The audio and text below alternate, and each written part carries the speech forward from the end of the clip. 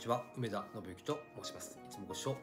ありがとうございます、えー満月だったんですね、えー中秋の名月中秋の名月ってことなんですが、まあ、中秋の名月って何ぞやってことでえ旧暦旧暦8月15日の十五夜の夜に、えーお月様に、えーまね、お月様を下で月見をしましょうっていうねそういう習わしっていうんですか、えーそこから来てます、えー昔はね昔は、えー、789 7月8月9月を秋というふうにね、えーしておりました、えー現在ねさて現在はってことなんですが太陽暦に基づいて、えーまあ、今年はね今年に関してに、えー2023年が9月29日。金曜日、まあ、この動画がね配信されてる時はもう日付が多分変わってるんですが、えー9月29日金曜日が、えー中秋の名月だったってことですね。えーまああのーまあ、来年は、えー9月17日、えー次のね2025年に関しては10月の6日とねもう決まってる、えーみたいです。それからねあのー満月かどうかってことなんですが中秋の名月が必ず満月とは限らないみたいなんですね。えーたまたま今回今年に関しては、えー満月だったわけなんですが、えー基本的には満月じゃない年の方が、えーどちらかというと多いみたいですねだから今回に関しては中秋の名月っていうのと、えー非常にねあのパワーの強い満月の日がね2つ一緒になったってことでね、えー今年はすごく特別な、えー夜になったということですねとある人からあの今日は中秋の名月です。月が、えーすごく綺麗に見えますよってことね教えていただいてありがとうございます。9月28日の夜に、えー満月ではなかったんですが、えーなんかいつもと比べて月の明かりがねパワーが強いなって、えー僕のね知り合い何人かもね同じこと言ってたんですが、えーあみんなやっぱり感じたんだってことね、えーまあちょっと前も言いましたがちょっと空をね空を見ようと一日に一回ね朝でも夜でもいつでもいいから空を一回見ましょう。ね。スピリチュアル的なねパワーもあるけど、えーまあ、心にゆとりね持ってる人、えーっていうのは空を見てるよってねアフリカの、えーご老人が言った言葉なんですが、えーまあ、だからなんかねあの月がなんか違ったよねっていうっていうそういう話をねした友達っていうのはなんとなくねそういう感覚近しいものがある方。そういうねそういう人ばっかりだったんでなんかそこでまたねあそういうことかってことをまあまあ感じたんですが、まあ、ちょっとね話がそれましたが、えー満月は限らないってことですよね。今年はすごくねラッキーな、えーめ中秋の名月満月ってことで、えーまあ、今年の満月にね関してですが、えーまあ、ちょっととあるね、あのー書き込みというかとあるデータを、えーちょっと引用させてもらいますが、えー勇気や行動力を、えーすごくねいただける光だと、えそれからね大切な人を守るため自分の、え名誉のためそれから、え明るい未来のために月をね眺めて感じて自分を感じてね、えーまあ、そんな風に時間をお月見のね時間を作るのもいいんじゃないでしょうかということで、まあ、ちょっと過ぎちゃったんですが、まあ、秋分のねこのね時期秋分の日から、えー2週間ぐらい秋に変わっていくねすごく非常に非常にね、あのー我々にとって大事な時期、えーどちらかというとね寒くなってくる時期なので、えーちょっと憂鬱になったりだとか、えー人間関係にもなんかねちょっとガタガタっとねあのいろんなことが起こったり、えーする時期らしいんですね。まあ全体的に、あのそういう方が、えー僕のお客さんでも非常に今多いです。年齢層。男性女性、えー限らずね、えー若い方も。ね、年重ねた方もなんかそんなこと言ってる方が非常に多いんでね、まあ、なんかね僕もねしっかり何かの元気をね、えー元気な状態で帰ってもらおうってね一生懸命、えー思うわけなんですが、えーそういったことで、まあ、ちょっとね、まあ、この中秋の名月の日は終わっちゃったんですがあのちょっと空を見てね綺麗な月見て、えーなんかねしっかり自分を感じて、えー見てはいかがでしょうか。ということでちょっとね話が長くなりましたが、はい、藤井香さんなんですが、えーそのね満月の夜にインタビューっていうのがね、えー公開されました、えビルボード、えー藤井風に導きを与えた第3のデビュー曲「Walking Hard」ができるまでということでスペシャルインタビューが、えーあったみたいですね。それの公開がございました、えーもしねまだ見てないよって方いらっしゃいましたら概要欄に貼ってますんでよかったらね、えー見てみてください、えーあまりねあの全てを今ここはね話しませんが、まあ、さらさらっとね、えー、ちょっとこんな感じだったよみたいなお話ができたらなと、えー、思います。あのねなんかいろんな界隈でね別に藤井風さんのことだけじゃなくても YouTube のことだけじゃなくてもいろんな界隈でいろんなところでね、えー、今なんとなくあのー、まあすごく気分がいい人と、えー、なんか腹の虫の居所が悪い人とすごく極端じゃないですか？感じませんか？そういうことを、ね、あの楽しそうにしてる人とそうでない人。パクッとねあのどっちかに割れてる感じがしませんか？中間があんまりいないね、どっちでもない人もね、もちろんいると思いますが、なんかこう、極端なんですよね。すごく。えー、今ね、藤井風さんっていう人、一人ね、テーマに置いて今から話すわけじゃないですか。えー、それにしてもね、例えばですよ、例えば、えー、僕もね、まだ、あの、言うても3年ぐらいじゃないですか。風さんのこと知ってから、好きになってから3年、たかたかだか3年です。デビューする前のことはあまりね、えー、知りません。こういうね、喋、喋らせてもらうようになってから、えー、いろいろ調べて、いろいろ教えていただいて、いろんな方からね、メッセージいただいて、えあ、そうだったんだ。ありがとうございます。ね、知らないことたくさん教えていただいて、ちょっとずつね、知っていく。まあ、そんなもんですよね。えー、みんながみんなね、昔から知ってて、応援しててっていうファンの方だけじゃないです。ね、ライブにも行ったことない。よくわかんない。グッズも持ってない。けど、今、藤井風という人のね音楽がないともうね生活できない。ね。彼の曲なしにはねあのいられないっていう、えー、人もいるわけだし、えー、彼のビジュアルをね見ていつもねふーっとね癒されてるんですって方もいますから全然いいじゃないですか。ね。誰のものでもないですね。藤井風さんは。藤井風さんのものですからね。あの人の人生ですから。僕ら全然関係ないんで僕らはただね素敵な部分いいなって部分それからいいなって言ってる人たちとわちゃわちゃっとねこうやって共有共感できたらいいなっていう場所なんで、えー、どうか穏やかにね、えー、藤井海さんが穏やかな方なんで穏やかなファンの方が多いんですが、まあ、ちょっとこんな季節っていうのもあります。ねいろいろなことが起こってますんで、まあ、ちょっとねイライラっとしてる人もね、えー、ちょっと多発してますんで、えちょっとね、まあ、ここは一つね穏やかに穏やかに優しい気持ちでえー、見ていただけたらなと。なんか虫の居所がね、悪い方はね、スッと、ね、次の動画へ行ってもいいんじゃないでしょうか。すいません。前置きがね、非常に長くなって申し訳ないんですが、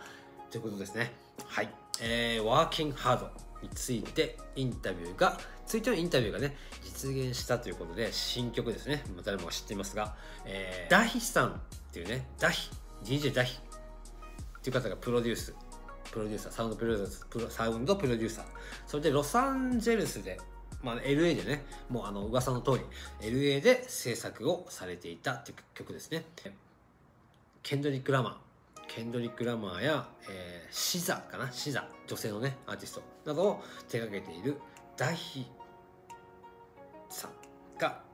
プロデュースをしております。ここら辺まではね、なんとなく噂でも、えー、聞いてる方も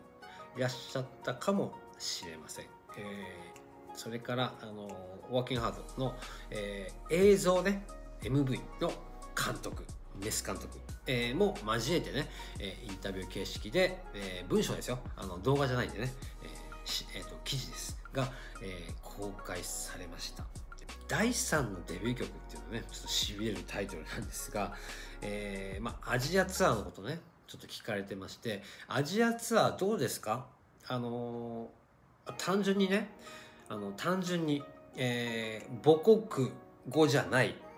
日本語の曲を、えー、風さんが歌います、えー、母国語が日本語じゃない人たちが、えー、聞いてます、えー、大丈夫かな？って普通単純にねえー、思いませんか？日本語の曲みんな理解してくれるんだろうか、えー、どんな感じで聴いてくれるのかなって、えー、まあシンプルにね、えー、どんな感じになるんだろうって、えー、全然関係ない僕でも、えー、気にしてましたが何の心配も、えー、なかったんですね。すごくすごくあの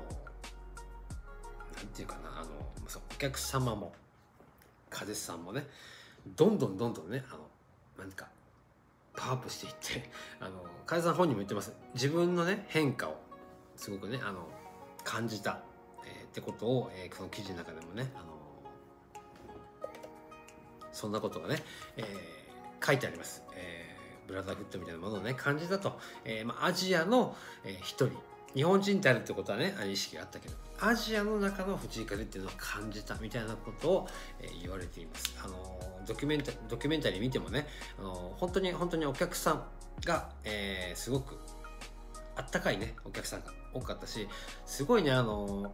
我々ね日本代表するねあの藤井風っていうアーティストにね向けてすごくねあの素敵な声援をね浴びせてくれて、えー、本当ね我々ね誇らしかった、えー、そんな時間でしたよね。ライブに行けなくてもあの映像にね見せてもらってあの本当に誇らしい気分にね、えー、慣れたし、えー、全然ねあの関係ないただのファンですが、えー、すごくね嬉しい気持ちになりました、えー、アジアのねファンの方々本当にあの感謝したいなって思うし、えーまあ、母国語じゃない言葉でも、えー、みんななんかね覚えて解散の曲ね。覚えて、えー、みんなの方が歌詞を覚えてたなんてねことも書いてますがあのなんかああいうのっていいですよね。あのなんていうのかなもうこれだけであのこの世の中ねこういうことだけでなんか平和になれそうな気もするんですよね。あの別になんか。ちょっとまああえて言わあえてね、まあ、あえて言わせてもらいますけどわけわかんないね。政治家たちが あのわけわかんない会議してもね何にも先進まないしね。よくわかんないです正直言って。何がやりたいんだか。よくわかんないけどまあこういうことでねこういうことだけで全然僕は平和になれると思うんですけどね。すごく遠回りしてるようなね。あのしょうもないなって正直僕は本当に思いますね。僕はこのこと言っちゃいけないのかもしれませんが、えー、風さんのねあの活動本当にねあの平和への近道じゃないかなってね、思います。いろんなね、世界中のアーティストの方がやってるね、あの、こと。えー、それだけで十分ね、皆さん平和に過ごせるんじゃないかなって、本当に本当に、えー、思います。えー、みんなそれぞれね、あの、こういう意識を持って、あの、皆さんが、えー、ね、えー、平和を願う。ちっちゃなことでね、感謝する、幸せを感じるってことで、えー、ちょっとずつね、そっちの方ね、いい方にね、えー、向かっていってると、えそうね、えー、信じたいですね、えー、メス監督とのねこと後半にちょこちょこっと出てくるんですがまあ本当にね仲がいいんだなっていうことすごく感じました、えー、あとはね見てほしいんですがあとねあのグレイスのことね。やっぱグレイスの時グレイスの時というか、まあ、グレイスをリリースした後のことを語ってるところがちょっとやっぱやっぱそうだったんだってね、えー、思いましたよね。そう思った方もたくさんいると思うんですがもう次何て言うんですか？次の曲のことをねイメージできなかったというか次作る曲を作る意味を意味が分からなかったみたいなことが、えー、書いてあります。自分の中で卒業ソングみたいな立ち位置になってしまっていて、点々点みたいなね、ことが書いてあります。あ、やっぱりそうだったんだなと。えー、なんか完結、まあ、その、完結した感がね、ありました。ファーストアルバム、セカンドアルバムで、えー、伝えてきたことの、ガンとね、タンツンタンツンタンツンタンツンってこう、第一章が終わったような、終わっちゃったっていう感じをちょっとね、感じたのはねあれ本当だったんだなってことですよね。ご本人が言ってました。こうやってはっきりとね言葉にされるの初めてだと思うんで、えー、すごくねあのあそうだったんだなってこと。で、まあ、今回のそのねバスケットボールの、えー、ご提案があったことで次にねフィット進めた。それがなかったらもう少しね次の曲に時間かかってたかもしれないってこともね、えー、言われております、え、非常にねあの長いロングインタビューロングインタビューだったと思います、えー、3ページぐらいねあるインタビューです。お時間ある時によかったらね、えー、見てみて、え、ください。概要欄に貼ってますのでよろしくお願いします。長くなってるんですがすいません、えー、風さんのワーキングハブのインタビュー、メス監督も一緒にってことで、あの、こういうね、あの、二人同い年ですよね。こういうね、あの、チームワーク、非常にね、あの、羨ましいというか、男同士のね、そういうあの、同じものをね作っていく。このこの感じね。チーム。すごくねあの美しいなって思うしちょっと羨ましいし、えー、いいですね。あのこれからもねあのなんかこれからもこの曲をこの MV が助けていく。なんかこうねみたいなこと。ちょこっと藤井海さんが言ってたんですけどまあいいこと言いますよね。あの MV に助けられた、えー、みたいなことをねあのリスペクトをね感じます、えー、非常にね美しいなと、え、思いました。とということで、えー、まあね、皆さんね、あの、いろんなことね、本当ね、本当に本当に、あの、日々、うーん、ね、いろんなことが、えー、あります。えー、本当翻弄されないように、あのしましょうね。あのはい。ということですね。あの、お空見て、月を見て、えー、パワーね、いただいてください。それでもね、結構、あの、まんざらでもないというか、あの、自然からいただくものってね、非常に非常に強烈なパワーがありますので、えー、ちょっと素直にね、空を見る、えー、自然を感じる、月を見るってことね、やってみてはいかがでしょうか。ということで、今後もね、カズさんの動き楽しみにしたいと思います。なんかね、ちょっとした噂がね、上がってますよね、今ね。ね、某ドラマの、えー、みたいなね、ことがちょっと噂上がってます。全然わかりませんがね、僕もね、全然わかりません。まあ、ただあり得るかなってことですよね。えー、楽しみ、待ちましょう。ということで、また次の動画でお会いしましょう。さよなら。穏やかに、優しく、お願いします。